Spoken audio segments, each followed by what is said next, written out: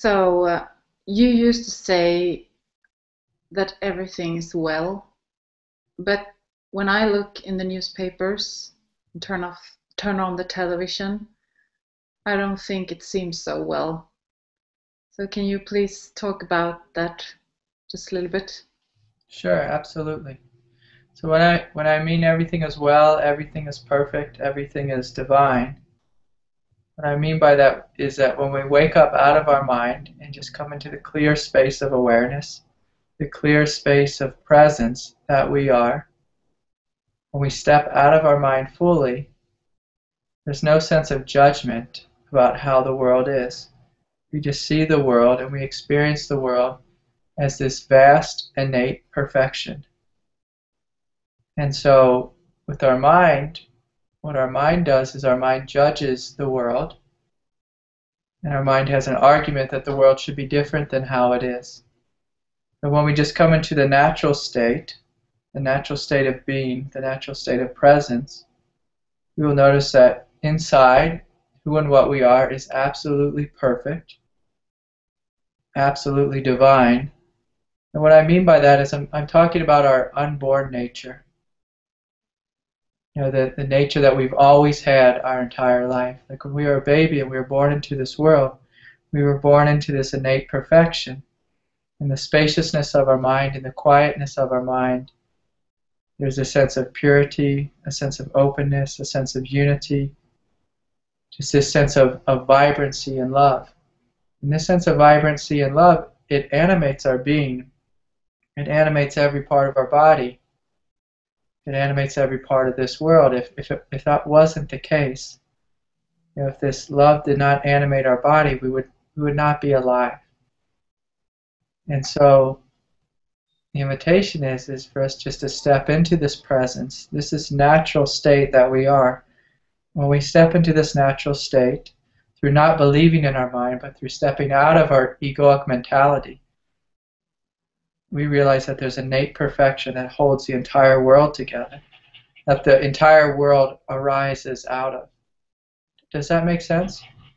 Yeah, I, I do understand what you mean because I uh, I can relate to that. I felt that. But at the same time, when I see something, some great injustice or someone who is in great pain because inflicted by other people, it it uh, it really also makes me think and feel that this isn't right. This shouldn't sure. be, and we should change it. Sure. So how do we how do we if we accept and if we accept everything and think it's well and fine, how will we ever get the impulse to change things that aren't? Sure. You know? Yeah. Well, what what you're doing is you're talking about there's there's these two two big aspects of being. This, these two big aspects of God, and one is the unborn aspect, which is that everything is perfect, everything is divine, everything is vast, open, spacious, free and clear. Like if you just look at the nature of the universe, you know, right now somewhere in the universe, you know, there's a star that's dying, there's a black hole that's eating the star, that's eating planets, that it's that's eating a whole universe. You know, from the mind of God, you know, that is an aspect of evolution. That's just an aspect, you know, of this world. Is that things come, things go, things die, but ultimately, when we look at things from a vast perspective, we also see that things are growing. And so, if we're going to be free, we must first accept everything as it is. You know, for example, if I'm really angry at somebody, you know, if I have anger within myself, you know, I can try to just argue with that person, and oftentimes nothing will change. There'll just be these two people arguing with each, with each other. But if I can step out of my anger and step into my innate freedom, if I can see myself as perfect, if I can see the situation as perfect, if I can see the other person as perfect, and by perfect I mean just see them for who and what they are, beyond any sense of judgment, beyond any sense of righteousness, beyond any sense of wanting it to be different, and just coming just to this clear, just Zen-like space of everything's okay. It's okay that they're arguing with me. It's okay that in my egoic mind it's resisting it. You know, it's okay that the world is the way it is. when we step into that great okayness, there's a sense of freedom. There's a sense of clarity. There's a sense of, of seeing the experience just as it is. Yes, I, I, I do understand that because uh, when I when I can do that, if I'm in, in an argument that's really freeing and it's, it's really helping. Yeah. But I'm thinking about more dramatic and awful things than someone Oh, who's in argument. Of course, of course. And uh, now I didn't get to this the second part of what I was going to say. Sorry. No, it's okay. It's fine. And the second part of what I was going to say is that from this space of openness, from this space of seeing clearly, like, okay, this is what's happening. You know, if we can step out of our argument and just step in just to this crystal clear clarity of, okay, there's a situation that's arising.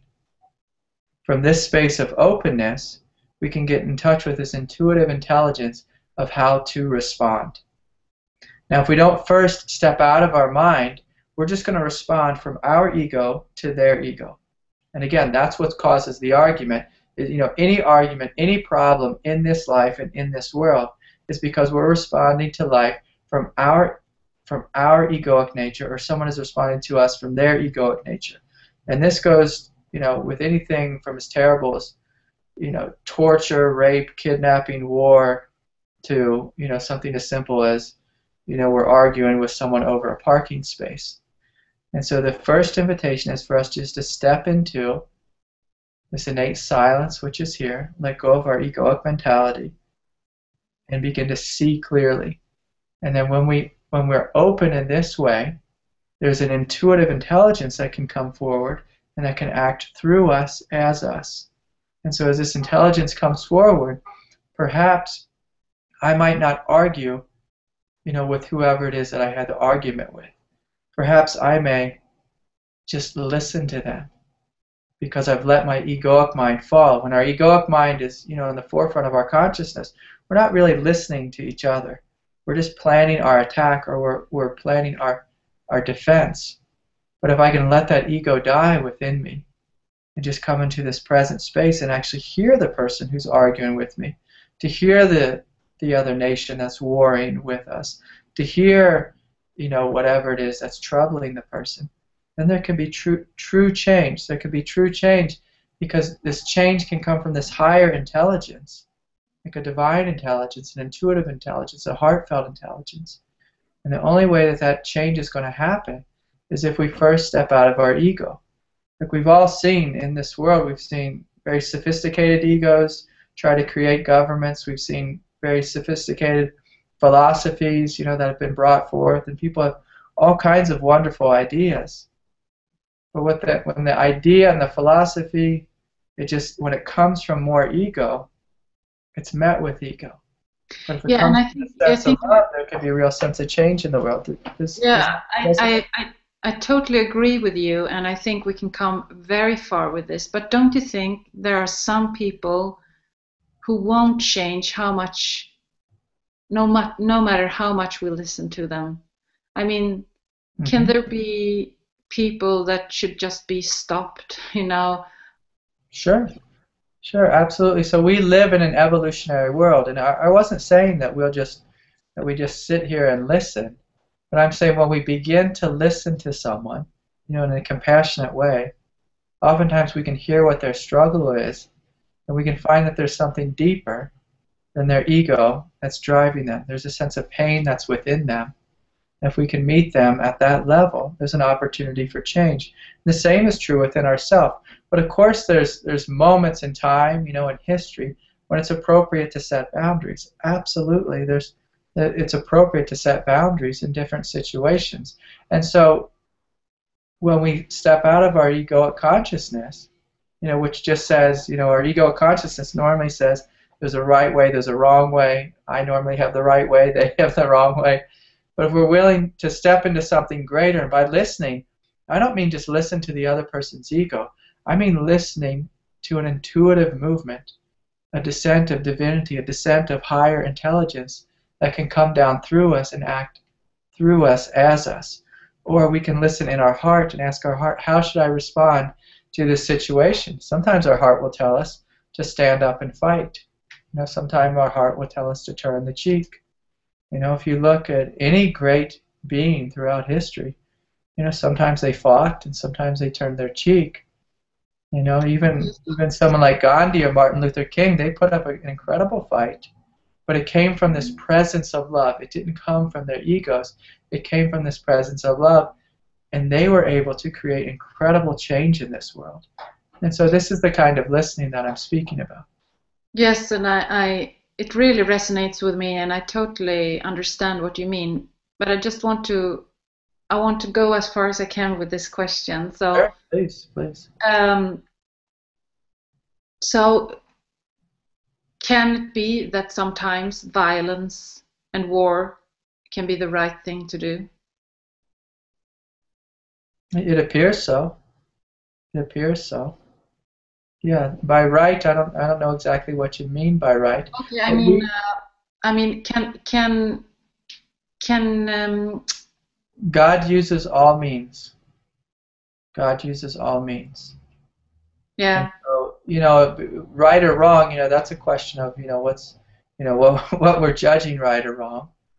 Okay, but uh, God, God, will use God will use all means. If you look at the universe that God has created, God has created an evolutionary world, and so at some point in evolution, you know, wars was a step forward, but yeah. hopefully at a greater a greater step in in evolution, dialogue will be a step forward. You know, and, a, and another step in evolution, you know, perhaps meditation and you know being intuitive will be a step forward. But who's to say if that's right or wrong? Well, it's you know that's what's happening in this world. If you look at the world, you know, from a vast perspective, from an evolutionary perspective, you'll see that different people, different nations, different you know, whatever are, are at different stages of their of their development. The whole world is at different stages of development.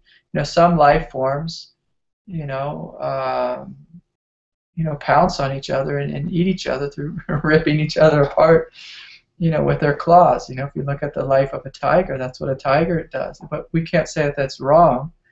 But you know, from a perspective of our, our humanity, we see that you know some people, you know, are fighting with guns. Some people are fighting with bows and arrows. Some people are fighting with words, and other people are trying to come together through a sense of unity through their mind, and other people are trying to come together through a sense of unity through a sense of of divinity and a sense of oneness. So there's all different levels, you know, of of people and of, of beings on this planet. What's right or wrong, you know, who's to say? But it seems that it seems that the more in touch we are with our hearts, the more in touch we are with our divinity, then that correlates with a greater sense of unity, a greater sense of oneness. And so when we're experiencing oneness, oftentimes we're not in the mood for violence. But there are times when God uses violence. Yeah, I think uh, it's just something. Sometimes it's it's sort of scary for me to accept, to say yes to things I really don't like. Sure. Because I am afraid that with this acceptance there will follow a, a sort of um, apathy or um, not caring, not wanting to injustice and yeah. That is in no way what I'm speaking about. With acceptance, it doesn't mean you agree with it. It doesn't mean that you like it. It doesn't mean you allow it to continue. But acceptance means you're no longer fighting with it in your mind. And because you let go of your argument in your mind, then you have all this freedom to see the situation clearly and to respond to the situation from your heart. So acceptance may it may mean, you know, realizing, you know, my partner is being, you know, mean and violent to me, and you accept that and you see it clearly, and then your heart says, okay, it's time to leave. You know, acceptance doesn't mean that you're a doormat in any way, and I would never want to teach that. If you look at any of the incredible masters throughout history, they weren't doormats. They didn't just accept it and roll over and play dead. You know, they said, this is what's happening. That's the acceptance. It's just, acceptance is a sense of you see it clearly. You're not arguing with it in your mind. You see it clearly and then you ask your heart, how should I respond? Yeah, that's really so awake, the, the movement from your heart just comes forward. And sometimes the movement from your heart will, you know, stand up and say, hey, you can't talk to me this way. Sometimes Yeah. the movement of your heart will say, hey, I'm done here. You know, please excuse me. Sometimes the acceptance of our heart will say, well, I'm going to sit with this and I'm going to listen to this person. And I'm going to ask them why they're treating me this way. Yeah, so the paradox here, it's really nice to come to this conclusion because the paradox is like, for me, it's like um, when we give up on a certain level, when we give up the fight against how things are, Yeah. there comes an enormous power and strength from that. So Yeah. it's sort of both giving up and acting on it. It Yeah. Yeah, we have, to, we have to give up our allegiance with our mind, with our egoic mentality, with our, you know, our emotional agenda. So we give up that, we surrender that, and then we see clearly, and then we let this greater force guide us. Whether you call that God, divinity, intuition, you know, your heart, prajna, whatever. We want to get in touch with that innate wisdom, the wisdom of the universe, and allow it to guide us. And so this is what embodied freedom is like, is when we allow this force to guide us, in a sense to even go further than guide us, when we allow this force to be us and to move in the world as us. It's a, it's a radically different way of living than meeting our life from the perspective of our egoic mind. And, and as we transition out of our egoic mind, there will be a sense of fear from letting go because what our ego does is our ego actually defends us from life. It, tr- it tries to protect us. That's its function. As we let go of that shield, as we let go of that defense, there may be a great deal of anxiety that we face as it comes forward. And as we're letting the walls down, we're meeting the life in an open-hearted way. And there we'll have to take a sense of faith or sense of trust that this greater thing is going to guide us. Yeah, thank you. It's really about letting go of control. It's absolutely about letting go of control Yeah, and being open to receiving this greater wisdom to come through us as us. Yeah, and this is what it means to be both both free and embodied. yeah. Thank you so much. Yeah, yeah, my pleasure. It's, it's good to meet with you.